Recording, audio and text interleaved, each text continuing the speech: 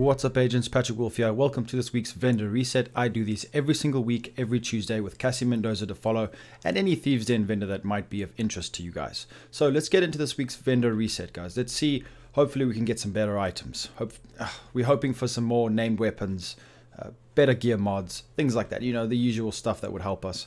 Okay, so we've got a submachine gun, a P90. Uh, I don't normally use this gun too often. I would imagine it would be pretty good in PvE because of the sustained damage from the 50 plus magazine, which is pretty nice. 11,700 is the base damage. Um, it's got measured, distance, and rooted. Rooted is actually really good for any kind of PvE skill build, or any skill build in general. Distance is the secondary talent. It's pretty good. Not bad. Uh, let me know in the comments if, if any of these guns have, uh, you know, what the percentage base damage is, because I don't really have the time to do all of them. So I hope you guys understand that. G36C, 12,800 base, restrained Allegro and transmission, 586 Magnum, 29k base with fast hand, stable, stop, drop and roll, Badger Tuff backpack, 300 skill, 12k health, 3.5 crit chance, 5.5% total armor with a defensive mod slot as well, Sokolov Concern chest piece, this has got 19,000 armor, 4 crit chance, 4 weapon damage, 7% headshot damage with hard hitting, which is getting removed in TU7, and an offensive mod slot.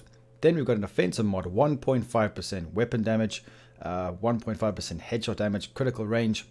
Uh, it actually is no longer a thing in this game. I don't know why it's still there. Forget about critical range. It's it's been taken out of the game. So don't worry about that, guys. I don't even know. I wouldn't I wouldn't bother with this mod. It's a bit of a shame. I wish there was a, a weapon-based damage that would be there. That'll be a bit better. Then we've got 117% damage for the drone. Very nice. Then spare parts, 83% skill haste for the turret. Nothing too crazy here. Always make sure to check crafting bench, the woman here, because sometimes she sells blueprints that you might not have. I don't have anything this week, but sometimes if you if you're missing a blueprint, uh, it's probably because I have the blueprint that's displaying here. So guys, just always check the crafting bench on every vendor reset. You never know what blueprint might pop up for you. So guys, just a quick little note. I'm going to leave a link in the description to go follow my uh, or subscribe to my other channel, my other YouTube channel, Patrick Wolf II. I'll leave a link. Go check it out. I do Escape from Tarkov videos. So let's carry on with this vendor reset. Okay, so the base of operations, we've got the clan vendor level 30. If you guys see anything better in any of the other one, eh, levels, I don't even think they've they changed. I think it's all the same because it never used to be, but they changed it. So we've currently got the Gila Guard Night Watcher mask, 17k health, which is actually pretty high and 5% crit chance. This is actually a pretty decent mask if you guys needed it. And it doesn't cost DZ credits, so it's easy to buy. So come and pick this up. It's pretty it's pretty good if I'm honest. You keep the health roll and then roll whatever you want damage to elites. You could have a pretty decent mask here. Then we got Hardwired gloves, 66 skill power, 4% crit chance. Utility mod slot as well. Tip of the spear knee pads, 6% crit chance. Tip of the spear gloves, 199 skill, 2.5 crit chance, and ACR with base damage of 12,647 with eyeless, accurate, and rooted. Then we've got a super 90. This has got 99k base damage with optimist optimized and in rhythm. In rhythm is very good. A 5% chance to refresh active skill cooldowns. Any kind of high skill skill cooldown build, it's very good. Remember, it's an equipped talent. This will work on while holding any of your three guns that are currently equipped to your character. So you can use any of them. As long as this is on one of the three guns on your character, you can use any of the guns and it'll proc in rhythm. Then we've got a Snubnose Diceros, which is a pistol, 46k base damage with Sadist, Optimized, and Double Duty. Battle Gloves, which are Petrov Defense. Pistol damage 2, LMG 3, Assault Rifle 2 with Precise as the talent. An MPX with Extra, Overlap, and Vindictive. 12k, 12.3k base. Providence Defense Holster, 13k health on kill, 245 skill power with a defensive mod slot, Sokolov Concern holsters, which are actually very good. Uh, 4% crit damage, 186 skill power, 16% skill haste with filler up, reloading from empty reloads all weapons. This could be very good for any kind of LMG build.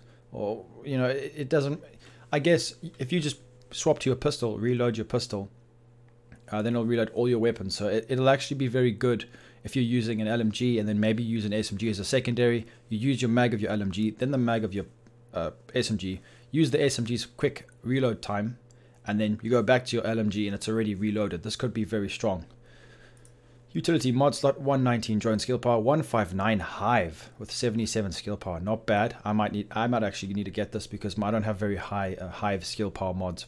Then we have got 83% skill ace for the ballistic shield, 61% radius for the hive, and then finally 85% damage for the chem launcher, which is very important, guys. If you like the pyro build, if you like any kind of skills skill builds using the chem launcher, definitely get this. It's worth buying a few of them.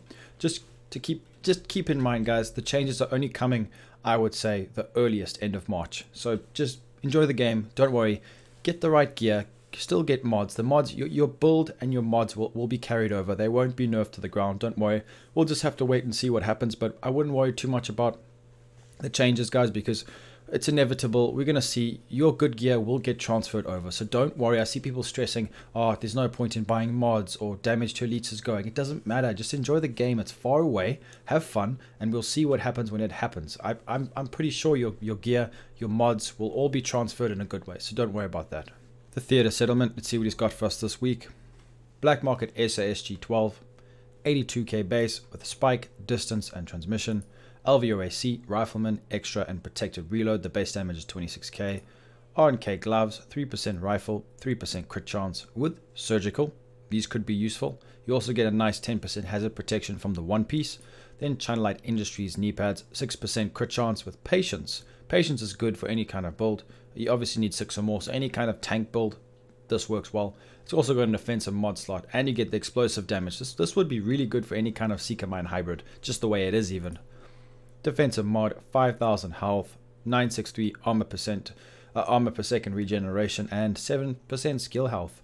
Now, skill health could be vital for a hardcore character. If you guys play hardcore mode, uh, have a look because I know that your hive might get destroyed by any kind of NPC and it might be worth stacking skill health. I don't know how much, but just keep that in mind.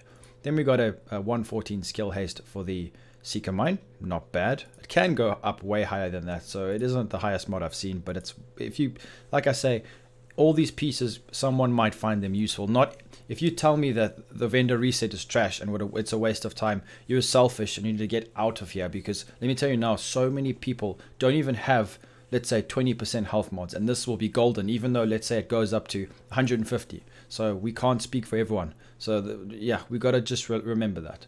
Then we've got auxiliary battery. These are getting removed from the game completely in a few months. Just keep that in mind. This is for the Firefly. Let's see what the campus settlement has for us this week. Hopefully, hopefully it'll be better because the vendor reset hasn't been too great so far. Classic M44 carbine, 102k base, not bad. Vindictive, stable and greased. Military M60, 70k base, close and personal, optimized and cannon. Sokolov, Concern, mask 19% DTE, 155 skill power, 3452 health and kill, with trauma, and then China Light Industries holster with 239 skill power, very low. Crit chance is also low, ah, terrible. Then 89 skill power, Chem Launcher 132, Seeker 118. It's not the worst I've seen. It's perfect if you're stacking Chem Launcher and if you're using a Chem Launcher and a Seeker together, this is the mod you want. Even though the base is low, it'll make up for it with this, the singular values. So definitely stack a few of these if you are using those two skills together. That's, that's the key to really min-maxing your skills. Then we've got Piranha Solution, 51% burn strength. Very, very nice. I am getting one of these. Make sure to pick this up, guys. This was another piece that's perfect for the future updates because the Pyro build is going to be very strong. Hazard protection is going down. Keep that in mind. This is a must buy. I've just bought two. Very important, guys. So definitely give that a try. 48% charge. Even though I bought two, I think you can only use one. It depends. I, I just like to buy two for my other character anyway, even if that is the case. Then we got 48% charges for the Hive if you need it, and then 22% radius for the Pulse. The Dark Zone West vendor. Tactical Super 90 SBS with Sadist, Jazz Hands, and Zen with an 88k base damage. Lightweight M4, 22611 base damage, ignited, stable, and everlasting. Your holdings gloves, 8% shotgun damage with kneecap. Alp Summit holds all knee pads, 177 skill power with capacitive. Defensive Protocol mod, 5300 health with some resistances that I wouldn't really bother uh, delving into. Then we got auxiliary battery for the Seeker Mine 218. 75% uh, health for the ballistic shield. That's not too bad. I've seen upwards of 96%. Then we've got an auxiliary battery for the Firefly again with 250. The Dark Zone East Fender. Once again, we're going to have to put on the base damage uh, because, oh, there, oh, it actually stayed on for once. Yay. Okay, let's see what we've got. Paratrooper SVD with Spike. Nice. Accurate. Nice. And Recharge. That is not bad at all. 46k base damage. If you guys want to pick it up, this is perfect. It does require Dark Zone credits though, so unfortunate. But it is pretty good. The talents are decent. Let me know what the base damage is like in the comments. Black Market RPK with Ignited Distance Stop Drop and Roll. 12,300 base. Badger Tuff Mask. 19 Hazard, 13 Health, 3% Health. Then Yaahl. 215 skill power, 10% crit chance with an offensive mod slot. Utility mod slot for skill power increased poison duration and increased disrupt duration. That's that's one of the worst mods I've ever seen. Uh, then we've got 72% heal for the chem launcher if you guys are looking for that. 70% damage for the hive, and then 129 skill haste for the pulse. Dark Zone South Vendor, we have got... Okay, so the base damage is staying on now, that's a first. MP5A2 with 12k base, Spike Accurate Cannon FAMAS 2010. 10,163 base, that's not too great. Steady handed jazz hands and double duty. They do 50, 46k base damage, restrained, distance, and zen. 511 tactical backpack, 407 skill power, 4.5% crit damage, 2.5% crit chance with capacitive and hard hitting. Alp Summit chest piece, 15.5 headshot, 12.5 crit chance, and unstoppable force. I seem to be getting attacked.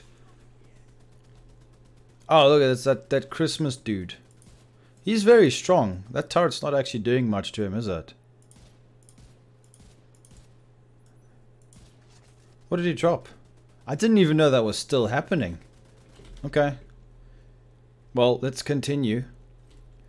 Then we've got, okay, we've just gone over that. I mean, the crit chance is pretty high and the headshot damage. So, I mean, it's a pretty decent piece. Uh, if I'm if I'm really honest, guys, that's actually a pretty decent piece. Then we've got an offensive mod, so 2% weapon, 3% crit chance, 2% critical hit damage. I needed one or two of these.